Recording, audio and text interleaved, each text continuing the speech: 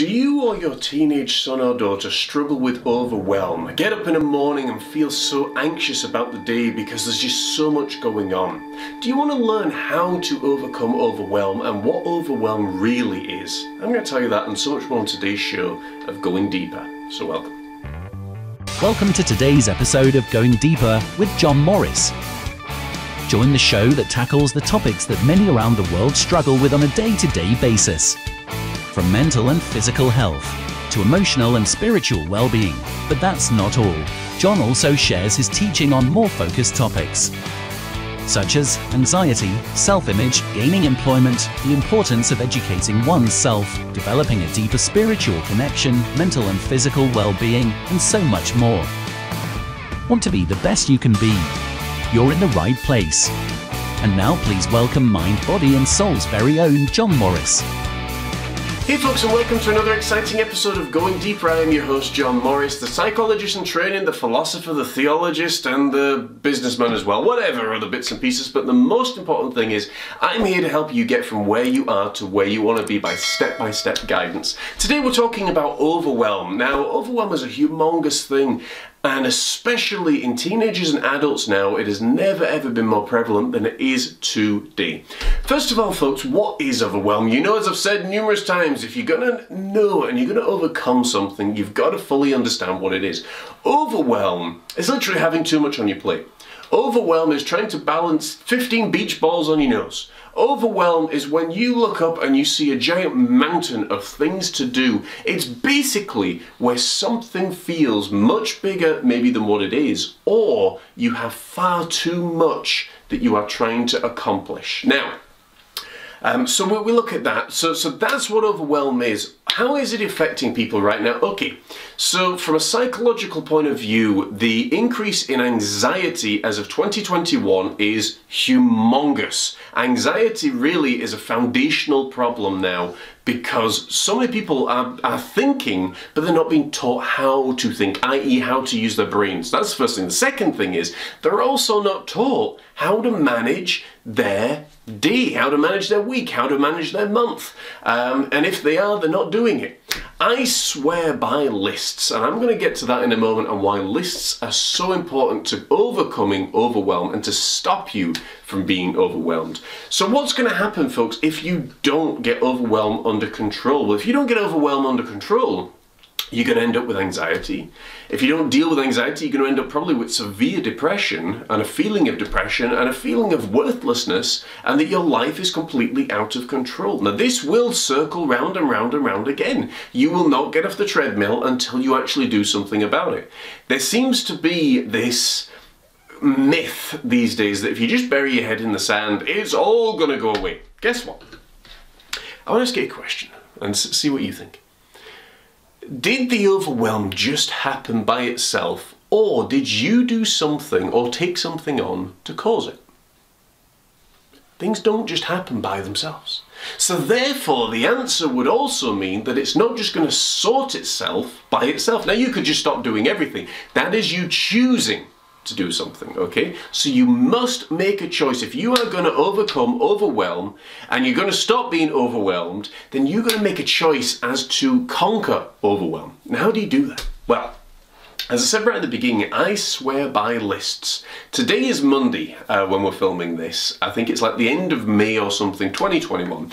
The sun is glorious outside, it's a really hot day. My wife is away with her family and we're filming this show. I've been cleaning the bathrooms, I've been in the gym, I've been painting, I've been finishing worktops, I've been, what else have I been doing? I've been looking after the cat, I've been hoovering, I've been cleaning uh, the bathrooms, the showers, I've been doing stuff in the garden. In total, I've actually accomplished 15 things today. Now you might say, John, oh my goodness, that's a lot of stuff to do in one day. And I would say, yes, it is. But you might also say, well, John, you know, you, you're, you, you don't seem to be overwhelmed, you don't seem to be really stressed. In fact, by your demeanour, you actually seem to be really relaxed and really calm. And I am. Now, why am I so calm and why am I so relaxed? Well, two reasons. One, I choose to be. Okay, I don't put into my head and I don't put into my line of sight anything that's going to cause me anxiety, overwhelm, or stress. Simple as that. That's the first thing. You need to observe what you're putting into your life. Second thing is this you must get your life in order. Because if you don't get your life in order, you are going to become. This is the lesson that the universe, that the divine spirit, that God is trying to tell you. You need to get your life in order. To get your life in order, you may think, my goodness, that's such a big job. No, it isn't. It's a small job, tiny job, tiny job. How do I know? Because it all starts with one thing. You got to get clear as to what's going on. So what did I do this morning? I sat down, and I do this with all the shows, by the way. I sat down this morning and I said, okay, I've got a list of things to do. And I started, you know, I, I asked myself the question, what do I want to do this week? And I just listed out 15 things that I knew needed to be done, that I knew would help Katie, that I knew would help our business, that some of the things I knew needed to be done for our business, like filming this show, um, that I knew needed to be done for our garden and for our trees and for all the other things that are there, that I knew needed to be done for the home. And I just listed them out 15 things. First thing I did was in the gym. Second thing I did was to book the courier. Third thing I did was to fix the, the kitchen units. We've just installed uh, brand new kitchen units and covers over them, um, over the old units. By the way, that's a really great way to, to save money. But we're going to talk about that in an upcoming show actually, all about repurposing and how repurposing can save you a fortune, whether you're a teenager, or whether you're an adult. But we'll talk about that later. Um, I lost my train of thought there, didn't I? So, you know, it's really, really important then, you know, to list things out. Now, what would I advise for someone who's listing things out? I would advise that you don't list more than five things per day. Now, why am I saying don't list more than five things per day when I'm listing 15? I've been making lists for two decades now, and I know what I can take on, and I know simply what's going to overwhelm me. And I just got to the point where I was like, okay, I'm feeling really good, feeling full of energy, feeling lots of stuff going on. Bang, let's get this stuff done. I was going to have a day free. Katie wasn't going to be around. it was going to be quiet in the house. I was going to like, let's go and do this. So you make lists and you start, if you're new to making lists, I would recommend starting with two or three things that are simple, like having a shower, having breakfast, and maybe, maybe cleaning the bathroom. Okay? Now how long does the bathroom take to clean? 10 15 minutes depending how often you clean it. For us it's 10 or 15 minutes um, because we don't have a particularly dirty bathroom. So um, that's what you do. You start and then you start with your bigger goals okay? So it might be get in the gym. It might be fix a bath tap Okay, if you're self-employed, it might be do some work on the website, it might be do some marketing, it might be speak to a customer. If you're in school, it might be finish that maths project, finish that English essay, finish that history um, assignment. Um, and when you start breaking things down, you actually realize, oh my gosh, I'm not actually getting overwhelmed because you can look and you can say, okay, I've got five things on Monday to do. I've got five things on Tuesday to do. Okay, don't worry about what's going on with Tuesday. You focus on what's happening on Monday. And that will stop you from being overwhelmed. And it doesn't mean, because I, have have a general rule of myself, when I finish my jobs and my task, it doesn't mean then that I look at Tuesdays and I'm like, okay, let's go ahead and start doing this. No, when I've finished the tasks on Monday, it's then time to relax and then time to chill. Maybe time to study. If you if you're me, I love to study. I love to study all the time. Um, I think I'm in, I'm nearly at 200 books that I've listened to um, since the middle of January, and we're now in May. And I just I read with my ears because I have visual dyslexia, so I struggle reading. But I can listen all the time, and I can do that while I'm doing other things. So it is really important that you make lists. This will stop you from being overwhelmed. So for example here, if you've got an assignment that's due or you've got a busy uh, business meeting that's going to come up and you know you've got three weeks to do it, three weeks is plenty of time. It's what, 21 days? 21 days is three weeks. And that's if you do it every single day. And if you've got a busy assignment, you could say, right, how long is this assignment going to take me to do? And this works if, you, if you're a mature student as well. How long is this assignment going to take me to do? And it may take you 15 hours to do. Right, okay, 5, 10, 15, 50, 5 hours per week. Okay, you could do 1 hour per day.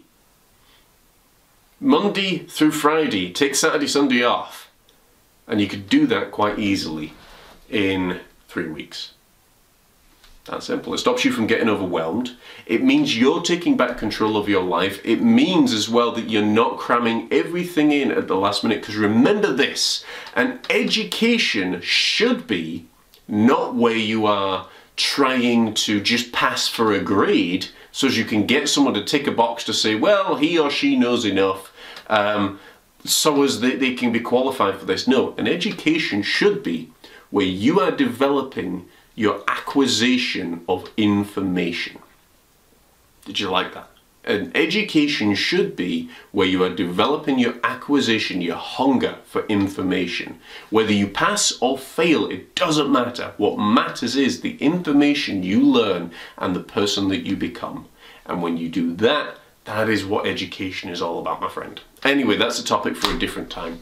But I hope that really helps you today. So start making lists. The power of making lists will literally change your life. It'll stop you from being overwhelmed. And if your teenagers are struggling with overwhelm and anxiety and all these other things, that could be one of the biggest contributing factors because they feel so overwhelmed. And when you feel overwhelmed, you ain't thinking clearly.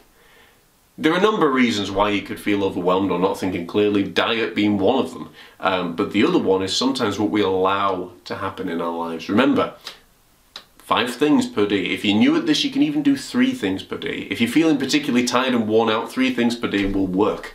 You know, and it'll start you getting progressive, it'll start your motivation flowing, and it'll help you more than you can even imagine. And on that note, that's all we've got time for in this episode of Going Deeper. Don't forget as always to like, share and subscribe. Tell a friend because it could be the very thing that helps them in their hour of darkness and their time of need. Watch this with your grandson, with your granddaughter, with your children and hopefully watch it yourself. Make some notes and start implementing what we're talking about. And of course, if you need and you want um, special help. You know, you're saying to yourself, well, John, that sounds really good, but I'm just not certain I can be accountable in doing this and I need some help. Get in touch with me directly at thebattlesweallface.com forward slash personal development coaching. I know it's a bit of a mouthful, so I've actually put the link in the chat bar and the captions bar underneath. You just click that link, you'll come straight through to my personal development coaching practice and you can get in touch with me and you can have me coach you directly one-on-one. I've only got a few limited spaces but I'm happy to help you guys. And who knows, we can also, if, if there's enough people, we'll end up putting together a, uh, a group coaching session where you've not only got my support and my teaching, but also where you've got teaching and support from other people as well, and that's vital.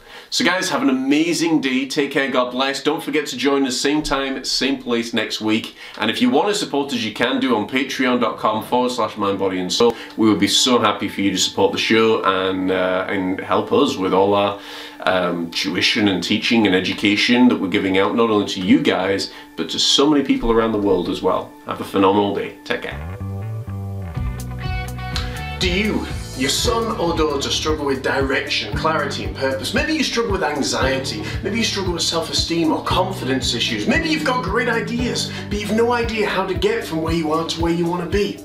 Don't worry, you're not alone. People around the world struggle with these issues. Hi there, I'm John Morris. I'm the coach to the creative mind and I'm also a psychologist in training. For the last two decades, I've worked with people from all walks of life and all over the world, all with a wide variety of issues. I've worked with people from youth groups to adult education to people dealing with day-to-day -day living issues. And each one of them has an amazing story to tell and we've helped them get clear as to where they are and clear as to where they want to be.